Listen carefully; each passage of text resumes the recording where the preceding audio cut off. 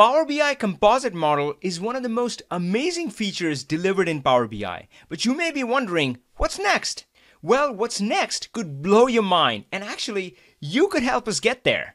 I'll cover all that and more, but if you want to become a Power BI Pro, make sure to subscribe and click that bell so you're notified whenever I go live to answer your Power BI questions. Composite models bring direct query and import modes together. Now I have a complete video which shows you step by step on how to build composite models and what are the benefits of doing so. I'm going to link it in the cards and the details below and you can watch it later, but I'm going to give you a quick summary. It's all about uh, reducing the friction between IT and business and bringing them together.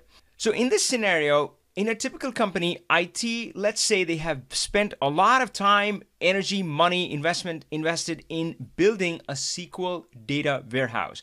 And uh, uh, now that can be made available to the business user and they can connect to it using the direct query mode, which is great because they don't have to copy all the data over to the model. They can connect to it directly using Power BI Desktop. But of course, this is where uh, sometimes uh, business users got into trouble because they had this one other file sitting somewhere. It could be an Excel file, could be a SharePoint list, could be something on the web that they were trying to connect to, which they wanted to bring in. Now you can do that with the power of composite models and it combines direct query but still lets you import data from your own sources. So really empowers the business users and that's the whole mantra of self-service BI, bringing IT and business together. But my friends, this is where perhaps the problem starts because in a typical organization these days, IT does not expose the SQL warehouse, SQL database warehouse to the business user.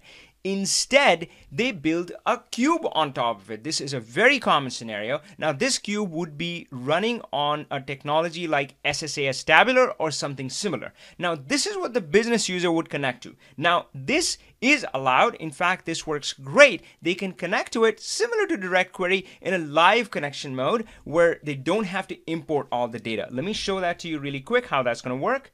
So here I have a new Power BI desktop window and I can say get data and I can point to analysis services. Once I do that, I can just point to my analysis server. Well, this one resides on my local machine, so I can just say dot. But the key thing is I can say connect live. Now, once I hit OK, watch what happens on this side and this side. Now, when I hit OK, uh, well, okay, after the step, so I connect to the specific cube that I want to connect to. And now, if you notice that over here, the data and relationship tabs are gone because I'm connected to the cube. The cube has the model, and that is available to me over here. And all the tables inside the cube, whatever the calculations, measures have been built, are readily available to me at my fingertips. So I can I can do something really quick and I can say, hey, show me sales by calendar year. And pretty much I can analyze and slice and dice data any which way I want. Again, I'm connected using a live connection to that. And you can also see in the corner over here. So that is the key scenario. And this is really powerful. In fact, it's super powerful because this also lets you define your own measures. So business user, when they're connected to an SSAS Tabular server, they can still say, you know what, it's missing a measure. So they can go in and say, let's say net profit, and they can say is sales minus cost. And that's a new measure, and they can drag and drop and put it and use it in their visualization. So this is incredibly powerful. But let's go back so this scenario so far works. But remember the need for the composite model? Well, the need came in when the business user had some other data set that they wanted to bring in and combine. And, and, and again, this is more common than you would expect. They would have some Excel file, some SharePoint list, or, or some source from the web, which they would want to connect in. And right now, this is not possible. It would not allow you to do it. So now if you look at my model and I have a finished one here. So again, this is connected to an SSAS tabular. It's a finished report. But notice that the get data option is blocked out. So that is not an option. But my friend, you can see the power of this. You can see that once this functionality is enabled, how incredible would that be?